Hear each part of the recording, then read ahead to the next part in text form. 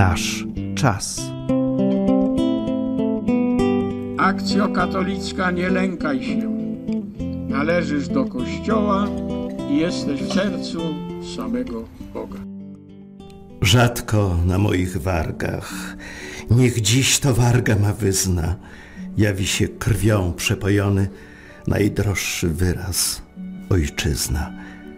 Widziałem, jak się na rynkach gromadzą kupczykowie, licytujący się wzajem, kto ją najgłośniej wypowie. Widziałem, jak między ludźmi ten się urządza najtaniej, jak poklask zdobywa i rentę, kto krzyczy, iż żyje dla niej. Widziałem, jak do jej kolan wstręt dotąd serce me czuje, z pokłonem się cisną i radą najpospolitsi szuje. Widziałem rozliczne tłumy z pustą, leniwą duszą, jak dźwiękiem orkiestry świątecznej resztki sumienia głuszą. Więc się nie dziwcie, ktoś może choć milczkiem słuszność mi przyzna, że na mych wargach tak rzadko jawi się wyraz ojczyzna. Tak pisał z goryczą Jan Kasprowicz w Księdze Ubogich. Sierpień, szczególny miesiąc w historii Polski. Obok wymiaru maryjnego, sierpień to miesiąc, w którym obchodzimy wspomnienie ważnych wydarzeń w historii Polski. Tych pomyślnych dla życia narodu i tych tragicznych. 5 sierpnia 1772 roku miało miejsce podpisanie w Petersburgu przez Rosję, Prusy i Austrię pierwszego traktatu rozbiorowego. Ten fakt, będący początkiem końca I Rzeczypospolitej, stanowi swoiste memento, uświadamiające, że dar wolności jest wielkim wyzwaniem.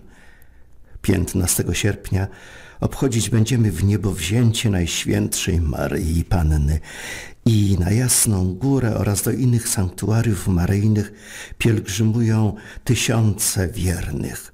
Równocześnie obchodzimy święto Wojska Polskiego w tym dniu na pamiątkę powstrzymania nawały bolszewickiej w 1920 roku. Po dramatycznych skutkach dla Polski II wojnie światowej w okresie czarnej nocy komunizmu święto zostało zakazane, choć oficjalnie nie zostało nigdy anulowane żadnym aktem prawnym. Komuniści zwalczali to święto, bo stanowiło dla Moskwy wyjątkowo bolesne wspomnienie klęski światowej ojczyzny proletariatu i polskiego zwycięstwa nad ponoć niezwyciężoną Armią Czerwoną.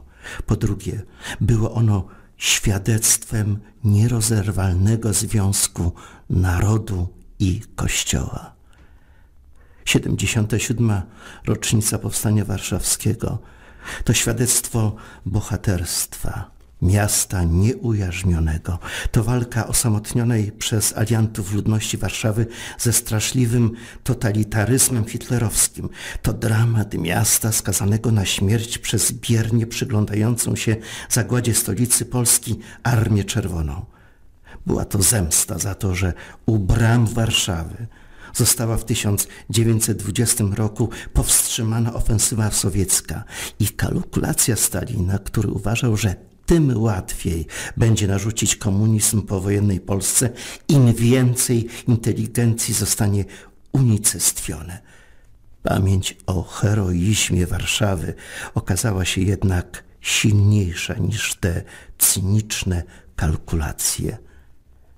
Sierpień to wreszcie wielki narodowy zryw któremu towarzyszyła nadzieja w roku 1980 na godne życie i wolność. To była iskra, która doprowadziła do obalenia komunizmu w Europie i przekreśliła porządek jałtański. Jak zwykle w drugą niedzielę miesiąca akcja katolicka naszej diecezji zaprasza na spotkanie z naszym czasem. Przy mikrofonach gościnnego studia Anioła Beskidów są dzisiaj ksiądz Jarosław Fiołek, Krzysztof Luber oraz Eugeniusz Jachym. Pomaga nam realizować dzisiejsze wydanie Krzysztof Ogiegłą z Anioła Beskidów. W tym wyjątkowym miesiącu w naszej audycji y, będzie refleksyjna formacja księdza Jarosława o o naszej trosce o niebo. Zaproszę Państwa do Jeleśni. Tam 17 lipca uczestniczyliśmy w Dniu Skupienia Akcji Katolickiej naszej diecezji, a Krzysztof Luber proponuje przybliżenie treści listu sierpniowego naszego asystenta. Oczywiście tutaj użyję Twojego głosu, Eugeniusz. Będzie również czas, jak zwykle, na refleksję i muzykę. Bądźcie zatem dzisiejszej niedzieli również z nami. Bądźcie z naszym czasem.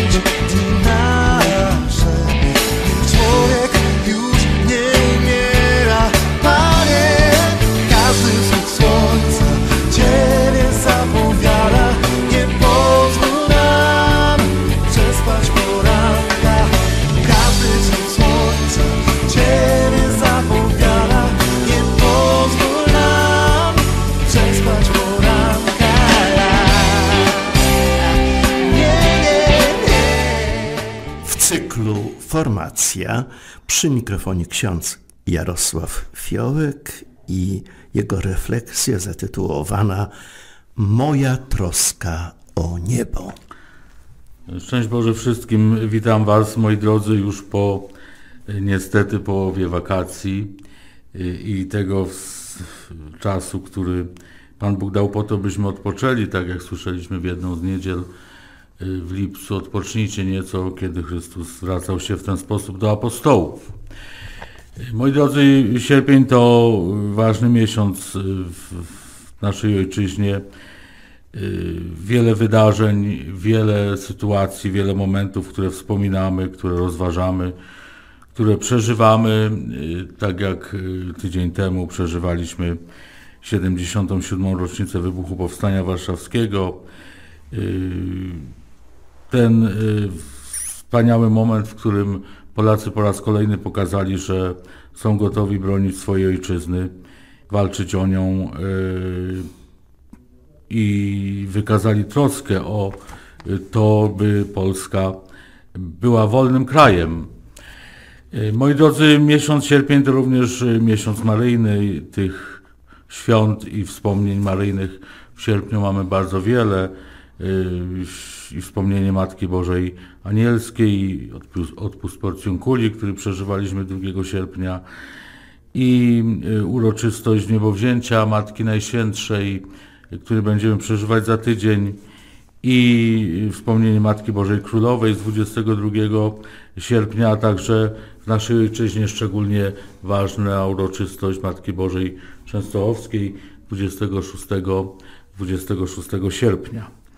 E, moi drodzy, te y, wszystkie uroczystości maryjne i święta, które będziemy wspominać, y, kierują nasz wzrok na Maryję, na tę, która stała się Matką Jezusa Chrystusa, która powiedziała Panu Bogu fiat, niech mi się stanie według słowa Twego i która do końca wypełniła wolę Pana Boga, docierając ze swoim Synem aż pod krzyż i będąc później y, w Kościele y, tą, która stała się Matką Kościoła y, i którą również w tym tytule w Kościele Świętym czcimy. Maryja pokazuje nam, moi drodzy, jakie jest powołanie człowieka wierzącego i że tym powołaniem jest niebo, a więc zbawienie, a więc życie wieczne, to przebywanie przed Bogiem, zobaczenie Boga twarzą w twarz, doświadczenie Jego obecności, a przecież przeżywając różnego rodzaju trudności, doświadczenia, te nasze ludzkie krzyże, Niejednokrotnie myślimy i tęsknimy za takim czasem, takim miejscem, taką rzeczywistością, kiedy, kiedy nie trzeba będzie cierpieć, smucić się, płakać. I za taką rzeczywistością, kiedy człowiek zobaczy Boga, ujrzy Go twarzą w twarz i będzie się mógł cieszyć Jego obecnością przez całą wieczność. Maria pokazuje, że to jest w zasięgu naszej ręki, że to jest nasze powołanie, że my jako ludzie wierzący mamy troszczyć się o to, by stać się zbawionymi, by stać się uczestnikami, uczestnikami nieba yy, i yy, domownikami Pana Boga, by to mieszkanie, które Pan Jezus odszedł przygotować dla każdego z nas, nie pozostało kiedyś puste.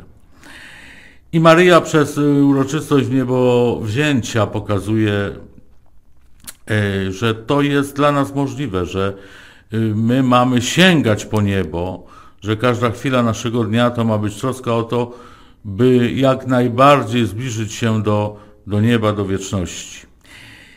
Moi drodzy, dzisiaj e, w Ewangelii usłyszymy, usłyszeliśmy, czy usłyszymy ważne słowa, które mają nam pomóc w tej naszej trosce o zbawienie, o yy, niebo, Chrystus y, już kolejną niedzielę mówi o swoim, swojej obecności pośród nas e, w Eucharystii. I dziś Chrystus mówi, y, dziś Chrystus mówi, ja jestem chleb życia. Ojcowie jedli manę na pustyni i pomarli. Ten chleb, który ja wam dam, e, jest taki, że kto go spożywa, nie umrze. Ja jestem chlebem żywym, który stąpił z nieba. Kto spożywa moje ciało, ten chleb będzie żył na wieki.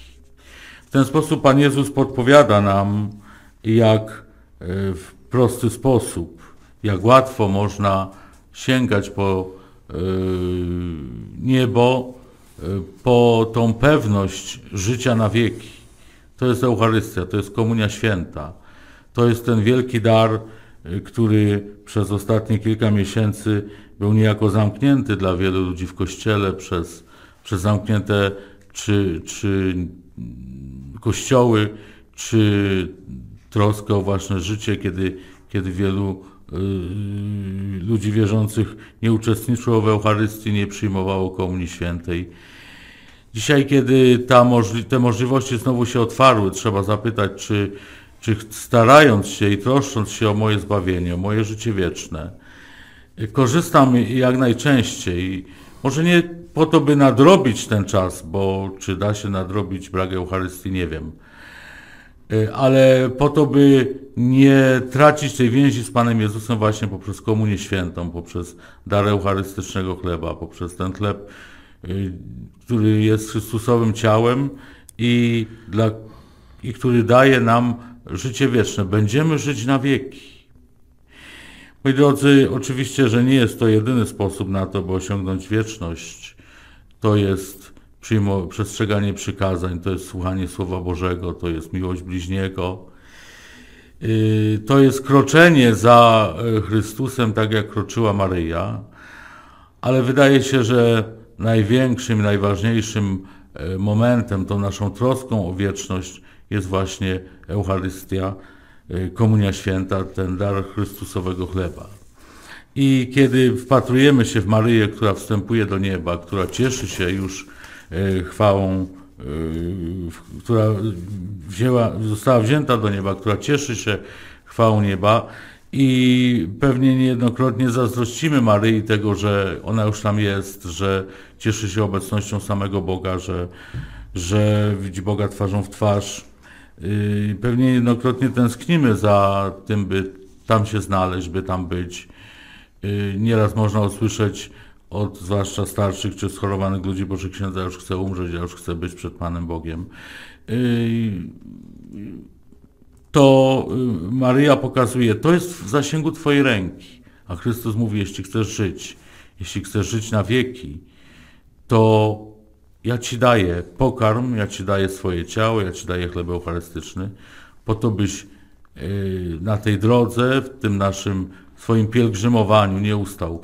Wielu z nas y, pielgrzymuje, czy to y, fizycznie, czy wirtualnie na Jasną Górę, y, czy pielgrzymowało przez, w innych latach, to nasze życie jest taką pielgrzymką. My ciągle jesteśmy w drodze, ciągle kroczymy, ciągle przybliżamy się do tego naszego zbawienia. Niech więc Maryja, która podpowiada nam i mówi o tym, że niebo jest dla mnie, jest w moim zasięgu, i, i Chrystus, który, który podpowiada o Eucharystii, o Komunii Świętej, y, to będą takie dwie osoby, y, przez które my sami będziemy bardziej troszczyć się o nasze niebo, nasze zbawienie, o naszą wieczność. Na ten czas zdobywania wieczności, zdobywania nieba, a jednocześnie kroczenia po osiemskich ścieżkach, życzę Bożej łaski i Bożego błogosławieństwa. Szczęść Boże jesteś pełnią życia. Daj nam Twojego chleba, daj nam oddychać wiecznością. Twój oddech ożywia i wspiera. Każdy zachód słońca Ciebie zapowiada,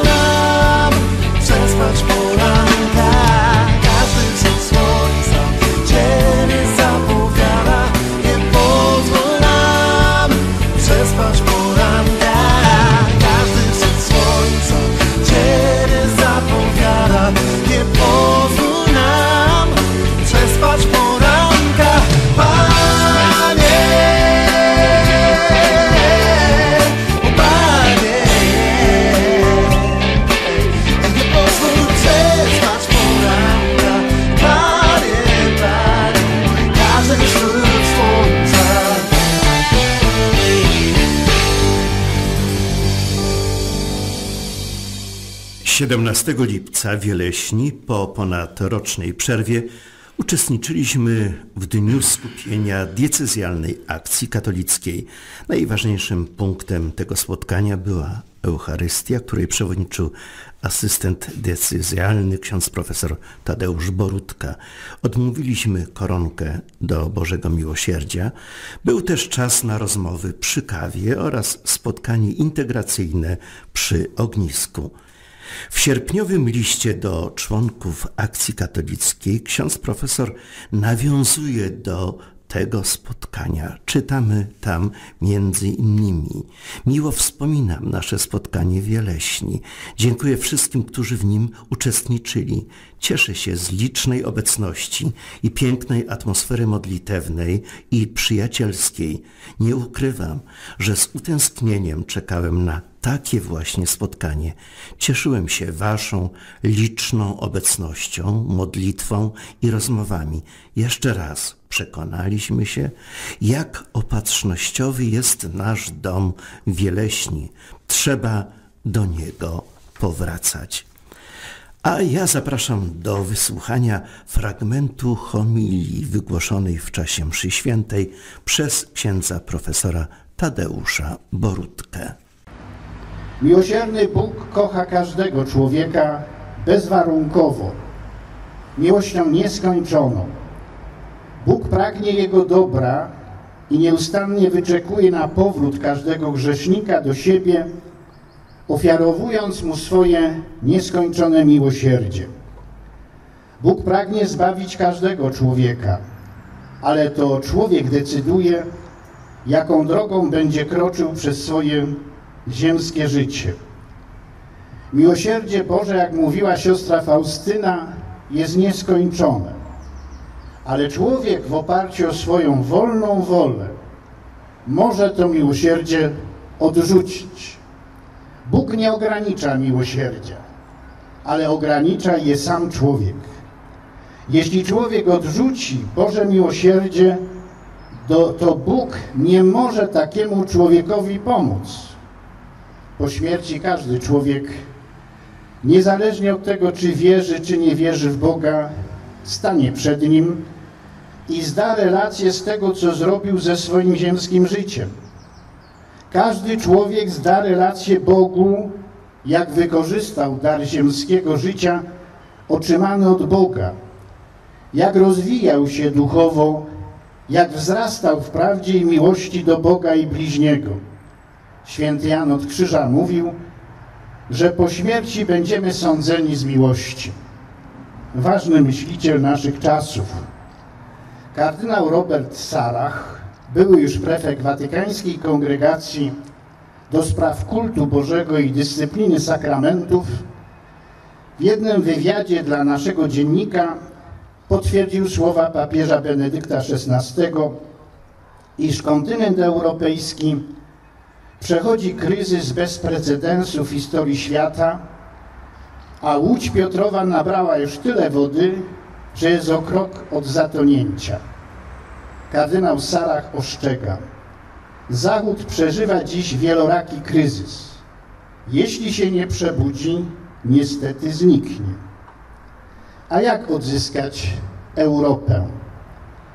Kardynał Sarach wyraża nadzieję, że mimo wszystko dojdzie do nawrócenia Europy i jej powrotu do wartości, a Zachód odkryje iż zmylił drogę i powróci na drogę prawdziwą, czyli na drogę Jezusa Chrystusa, który jest przyszłością Europy. Najważniejsze, uważa kardynał, to mocno trzymać Łódź Piotrową, aby się nie przewróciła, czyli głosić z mocą doktrynę wiary i wytrwale się modlić. I oczywiście pamiętać, jak dodaje, o wstawiennictwie świętych patronów Europy. Jako członkowie Akcji Katolickiej jesteśmy bliskimi współpracownikami tych, którzy prowadzą ster Łodzi Piotrowej. I musimy się włączyć na miarę swoich możliwości w dzieło nowej ewangelizacji. do której przecież tak żarliwie zachęcał nas przez 27 lat święty Jan Paweł II, nasz patron. Po okresie trwającej ponad rok pandemii znajdujemy się, jak mówiłem, niejako w nowej sytuacji religijnej. W tym czasie kościoły nasze pozostawały puste. Nawet w największe święta świeciły pustkami. Pamiętam Wielkanoc zeszłoroczną, kiedy w kościele w Kozach byli tylko księża i siostry zakonne i nie było ani jednego świeckiego. To była najbardziej smutna Wielkanoc w moim kapłańskim życiu. Niewyobrażalna. Tak, tylko nieliczni mieli wstęp do świątyń. W tym czasie wielu ludzi nie przystępowało do sakramentów świętych. Nie uczestniczyli w nabożeństwach, ani też w adoracji. Wielu ludzi uwierzyło niestety, że można się odnaleźć w życiu bez Kościoła i sakramentów świętych. Mimo polepszenia się sytuacji, wciąż pozostają poza wspólnotą Kościoła i nie odczuwają tęsknoty za, powrotem do Pana Boga. Wielu ludzi wciąż trwa przy tym, że można być człowiekiem wierzącym, niekoniecznie zakorzenionym we wspólnocie Kościoła, dlatego wystarcza im telewizor, wystarcza im radio, czy też wystarcza im tak zwana komunia duchowa. Chciałem na tym naszym spotkaniu dzisiaj razem z Wami się zastanowić, co robić w takiej sytuacji. Bo jak powiedziałem, jesteśmy odpowiedzialni czy współodpowiedzialni razem z hierarchią Kościoła do tego, żeby Kościół działał, żeby Kościół był żywotny, żeby Kościół nie tracił swojej witalności w tych uwarunkowaniach, w jakich my żyjemy. Myślałem nad tym i uważam, że najpierw musimy zastanowić się bardzo poważnie nad własną sytuacją religijną. Musi każdy z nas osobiście zapytać samego siebie. I to bardzo szczerze, jaka jest moja wiara i czym ta wiara owocuje w życiu codziennym. Wiele razy uczestniczę w różnych spotkaniach akcji katolickiej w Polsce i nieraz rozmowy, wypowiedzi ludzi mnie szokują. One dotyczą religijności moralności, bo nigdy nie wchodzę w politykę. Kościół interesuje się moralnością, religijnością, nie traci wrażliwość na inne aspekty życia społecznego. Wypowiadane słowa ludzi w akcji katolickiej nie współ, współbrzmią z nauczaniem Kościoła. Nie są odczuwaniem z Kościołem. Sentire cum ecclesia. Odczuwać z Kościołem. I trzeba się zapytać, jaka jest moja wiara? Czy ona jest autentyczna? I koniecznie dodać do tego, czym ona owocuje w życiu codziennym.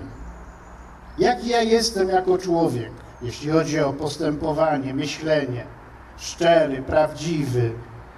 Można mieć do mnie zaufanie. Jaki ja jestem?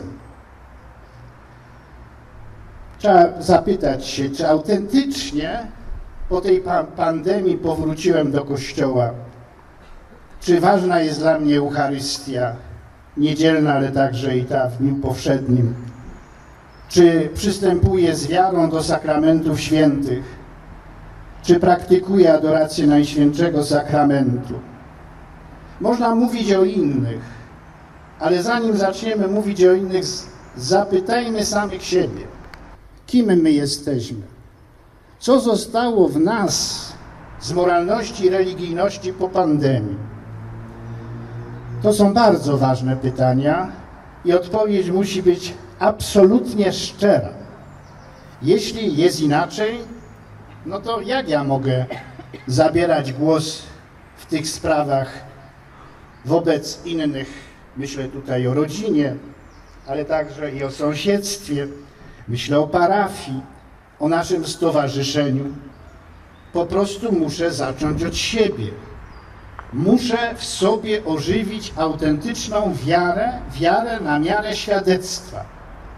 I bardzo się cieszę, że dzisiaj jesteście tak liczni, licznie zgromadzeni, bo właśnie chcemy sobie zrobić po tym okresie niewidzenia, przecież tęskniliśmy za sobą, to było autentyczne, dawaliśmy temu znaki, żeby zrobić sobie rachunek sumienia.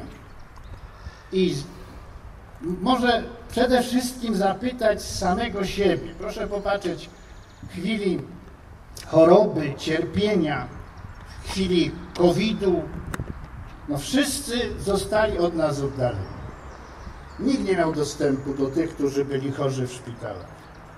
Naprawdę nawet lekarze się bali przychodzić. W zasadzie to konsultowali sprawę za pomocą komórki, telefonu.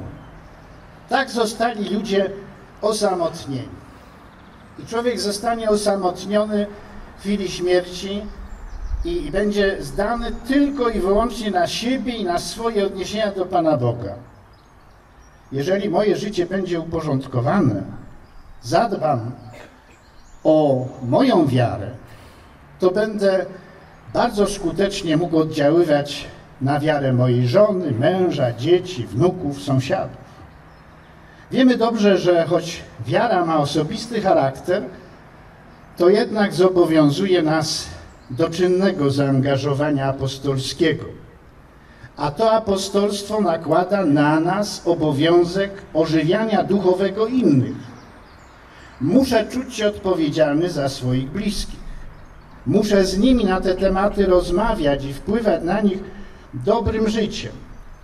Powiedziałbym, muszę być misjonarzem w tych trudnych czasach w swojej rodzinie, w swoim domu, może w sąsiedztwie, na terenie parafii, bo nie będę misjonarzem na całym świecie.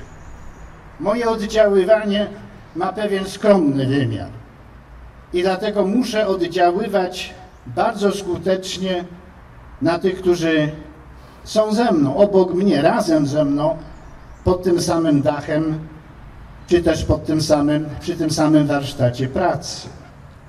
Tego wymaga ode mnie ordo caritatis, to znaczy porządek miłości. Muszę naprawdę się przejmować, jeśli z moich bliskich ktoś traci kontakt z Bogiem i nie ma tęsknoty za Panem Bogiem. Ja mam być tym pośrednikiem. Ja muszę mu o tym mówić. Co on z tym zrobi, no to już jego sprawa, ale ja muszę dać wyraz swojego niepokoju. Martwi nas wszystkich właśnie tolerancja złych wyborów osób nam najbliższych. Dziecko nie chodzi na religię. W Krakowie już 40% tylko młodzieży chodzi na religię. Reszta nie chodzi. Przynoszą, muszą przynieść pozwolenie rodziców, żeby się wypisać z lekcji religii. Mają pozwolenie rodziców. Czy rzeczywiście powinniśmy na to się zgadzać, żeby dzieci robiły co chciały? Ktoś żyje bez ślubu. Akceptacja najbliższych, matki, ojca, nic się nie mówi, bo się boi. Nie tykamy tej sprawy, ona jest bardzo delikatna. Musimy delikatnie, no bo delikatnie, a potem się wszystko rozpada, przychodzą nieszczęścia, bo byliśmy zbyt delikatni. Życie nie jest delikatne. Życie wymaga konkretnych decyzji. Trzeba więc, żebyśmy porządkując te nasze sprawy, dostrzegli też swoje miejsce w akcji katolickiej i tu czeka nas też wielka zespołowa praca. Myślę, że musimy się na nowo policzyć. Trzeba po prostu zrobić takie policzenie w naszych parafialnych oddziałach, ilu nas autentycznie jest. Zmiana jest ogromna. Mówię tych, którzy odeszli, tych, którzy są schorowani, ale także tych, którzy zatracili swoją miłość do Kościoła i do akcji katolickiej.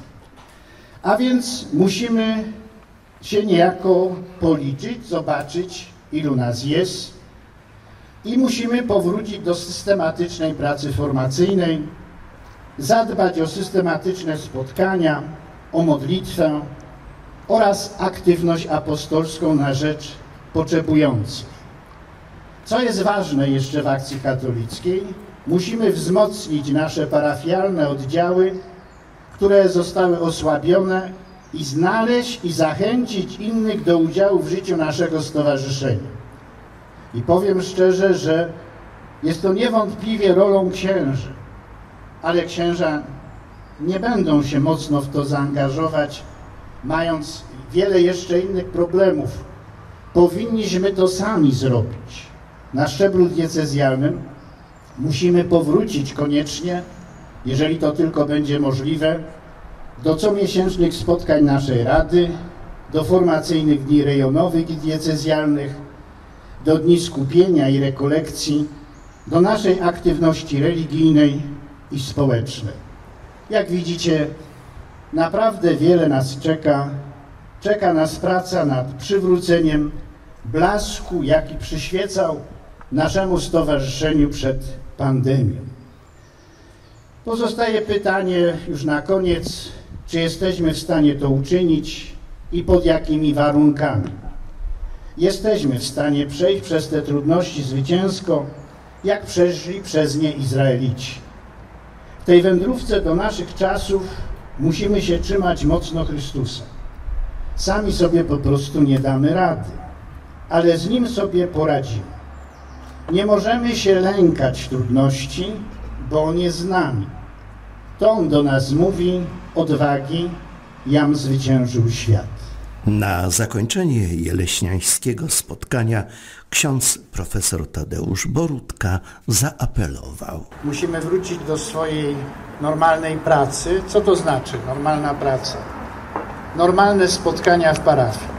Spróbujcie już zorganizować, oczywiście zachowując wszelkie środki ostrożności, e, ale też nie, nie, nie lękając się aż tak bardzo. Mi się wydaje, że Kościół w Polsce został, nie tylko w Polsce, ale w świecie sparaliżowany jakimś lękiem. I w związku z czym nie, da się też tak sparaliżować, że, że nam nic nie wolno, że nie możemy, że zaraz umrzemy i tak dalej. Pamiętajmy też o tym, że w czasach powiedzmy takich pandemii różnych, a mam, mieliśmy w historii, ludzie święci wychodzili na, na ulicę. Przecież Jan Bosko nie tylko sam wyszedł, ale wysłał wszystkich swoich uczniów, a miał ich wtedy wielu i nikt z nich nie zachorował. Więc były procesje przebłagalne. Ludzie się gromadzili, chodzili z krzyżami. We Włoszech mamy takie krzyże, które właśnie uratowały ludzkość. A myśmy się tak dali zepchnąć. Trochę było przy tym śmieszności, że tam na dachach kościoła księża śpiewali, grali. No to nie o to chodzi, żebyśmy na dachy wychodzili, tylko żebyśmy w świątyni byli. Żebyśmy się Poza tym uważam, że taki niewykorzystany też sposób na przykład na odprawianie mszy na zewnątrz, czy na Boże i na zewnątrz. Mamy fantastyczne miejsca. Ja zachęcam bardzo do tego, żebyśmy w miarę możliwości wrócili już do tych, y, przede wszystkim do spotkań w Kościele, żebyśmy sami, nie oglądajmy się na innych, tylko y, postanówmy sobie sami uczestniczyć, dziękować Bogu, że mamy tę możliwość uczestniczenia we mszy świętej. No i próbujmy odbudować nasze parafialne oddziały. Bardzo bym prosił, żeby nie uprawiać fikcji, że jak nie ma parafialnego oddziału, no to też powiedzieć, że nie ma parafialnego oddziału, albo no może inaczej, zbudować go na nowo. Y, dlatego bardzo bym prosił, żeby spotkania w akcji katolickiej w parafii zawsze były związane z takim ogłoszeniem w ogłoszeniach duszpasterskich, żeby poprosić księdza, żeby powiedział, że w czwartek akcja katolicka ma spotkanie o godzinie 17 i zapraszamy chętnych na spotkanie, żeby ludzie wiedzieli, że taka możliwość jest. A sami szukajmy tych ludzi, bo oni dzisiaj tak się nie odnajdą. Tu pan prezes mówił o ludziach młodych, ale panie prezesie, skąd ich wziąć? Jak ich nie ma w kościele? Nie ma dzieci, nie ma młodzieży, nie, no trzeba jasno to powiedzieć, przecież to jest wielka bolączka. Nie wiem, czy te dzieci wrócą. Nie wiem, czy młodzież wróci. Boję się, że raczej będzie to bardzo ciężko, jeżeli, no nie chcę się powtarzać, ale proces laicyzacji w Polsce w tym okresie pandemicznym, to jest rok i dwa miesiące, proszę Państwa, wyprzedził to wszystko, co miało się dokonać po 40 latach w Polsce.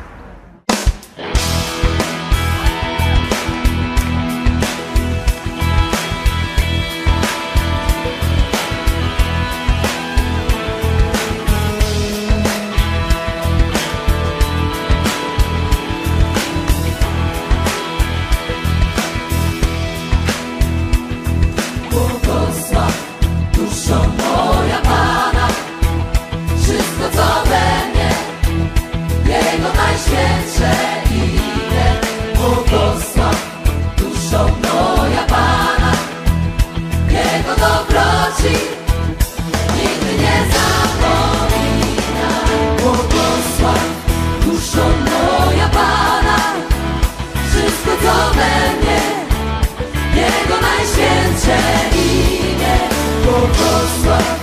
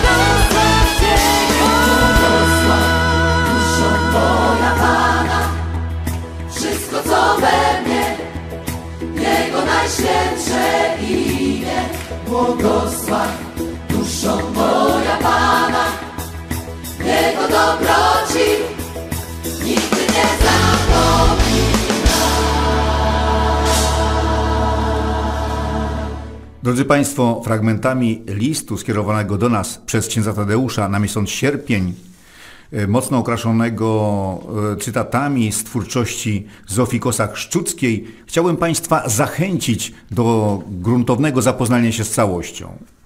I tak, we wstępie ksiądz profesor pisze – Wakacyjnie pozdrawiam Was wszystkich i jak zawsze zapewniam o mojej modlitwie.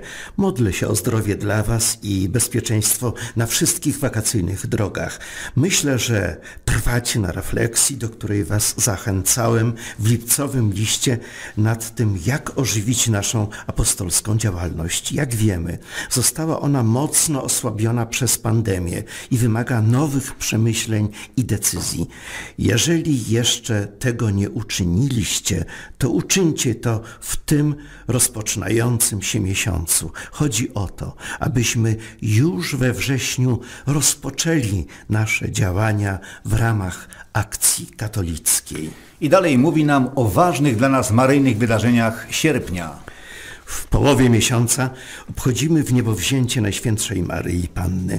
Kościół od samego początku zachowywał wiarę o tym, że Maryja, Matka Syna Bożego, wraz z duszą i ciałem przebywa w niebie.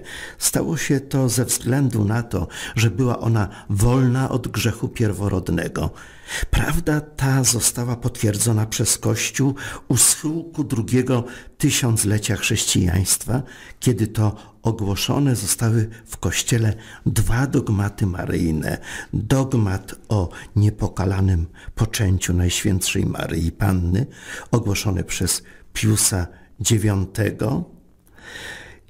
i o wniebowzięciu, ogłoszony przez Piusa XII konstytucją apostolską. Wreszcie napomina nas, byśmy nie poprzestawali tylko na podziwianiu Maryi. Jako ludzie Kościoła nie możemy poprzestawać na podziwianiu Maryi w jej chwalebnym losie, jako osoby bardzo od nas odległej. Nie. Mamy patrzeć na to, czego Pan w swej miłości pragnął także dla nas, dla naszego ostatecznego przeznaczenia, byśmy żyli poprzez wiarę w doskonałym zjednoczeniu miłości z Nim, a tym samym żyli prawdziwie. A swój list kończy słowami. Kochani, przeżyjmy ten piękny sierpniowy miesiąc z Matką Najświętszą. Do niej się módlmy i ją naśladujmy. Niech ona opiekuje się nami i naszym stowarzyszeniem. Pozdrawiam Was serdecznie i zapewniam o modlitwie, prosząc o wzajemność. Ksiądz Tadeusz, asystent.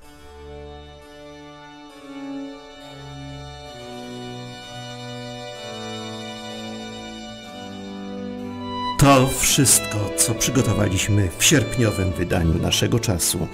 Dziękuję Państwu za uwagę, za wspólnie spędzony czas. Krzysztofowi Ogiegu z Anioła Beskidów za pomoc przy realizacji audycji, Sylwii Danielowi Strządała za oprawę muzyczną, a żegnają się z Państwem, zapraszając na wrześniowe wydanie ksiądz Jarosław Fiołek, Krzysztof Luber oraz Eugeniusz Jachym, a ponieważ w tym miesiącu słowo ojczyzna będzie nam często towarzyszyć, posłuchajmy refleksji Karola Wojtyły z 1974 roku w poemacie Myśląc Ojczyzna. Ojczyzna wyzwanie tej ziemi rzucone przodkom i nam, by stanowić o wspólnym dobru i mową własną jak sztandar wyśpiewać dzieje. Śpiew dziejów spełniają czyny zbudowane na opokach woli. Dojrzałością samostanowienia osądzamy młodość naszą, czasy rozbicia i złoty wiek.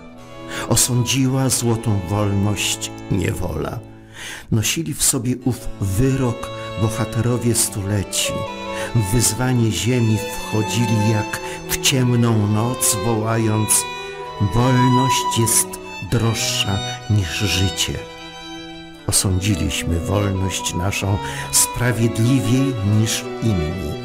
Na ołtarzu samostanowienia płonęły ofiary pokoleń, przejmujące wołanie wolności silniejszej niż śmierć. Ojczyzna, kiedy myślę, wówczas wyrażam siebie i zakorzeniam. Mówi mi o tym serce, jakby ukryta granica, która ze mnie przebiega ku innym, aby wszystkich ogarnąć w przeszłość dawniejszą niż każdy z nas. Z niej się wyłaniam, gdy myślę ojczyzna, by zamknąć ją w sobie jak skarb. Pytam wciąż, jak ją pomnożyć, jak poszerzyć tę przestrzeń, którą wypełnia.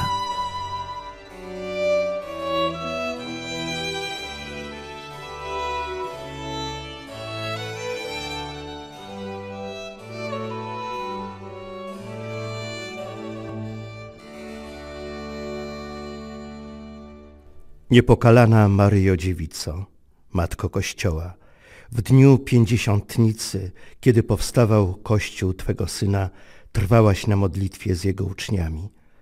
Orędowniczko nasza u Boga, my, członkowie Akcji Katolickiej, z wiarą pełną ufności uciekamy się do Ciebie.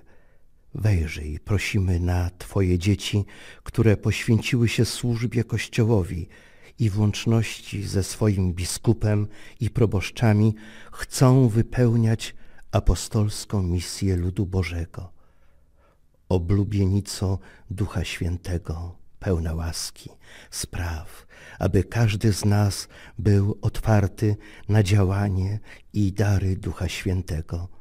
Rozpoznał bogactwo i różnorodność Jego charyzmatów i w łączności z braćmi oraz siostrami w wierze pomnażał je w służbie Kościołowi i Ojczyźnie. Wspomożycielko wiernych, która chronisz od złego wierne dzieci Kościoła, wspieraj nasze starania o odnowienie akcji katolickiej. Spraw, aby wiele Polek i Polaków przyjęło zaproszenie do większego poświęcenia się w budowaniu wspólnego dobra przez posługę stowarzyszeniu, którego wielkim orędownikiem był Twój niezłomny czciciel, święty Jan Paweł II.